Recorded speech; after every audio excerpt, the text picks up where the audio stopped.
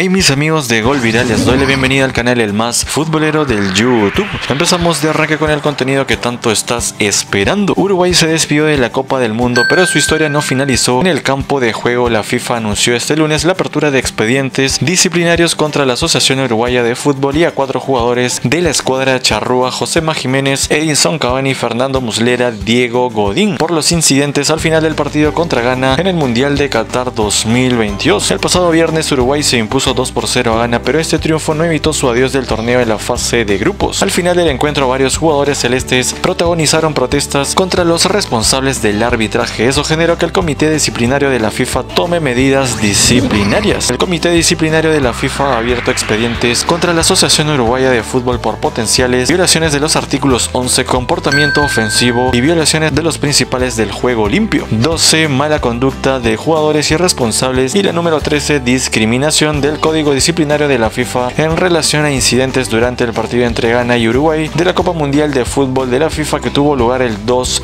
de diciembre, explicó el ente mundial. El comunicado añadió que se abrieron expedientes separados contra los jugadores uruguayos José María Jiménez, Edinson Cavani, Fernando Muslera y Diego Godín por potenciales violaciones de los artículos 11 y 12 del Código Disciplinario de la FIFA en relación de los incidentes que ocurrieron en el final de dicho partido. Y tu carnal opina en la cajita de los comentarios qué te pareció la noticia más importante del día de hoy? Comenta en la parte de abajo y nos vemos en la próxima.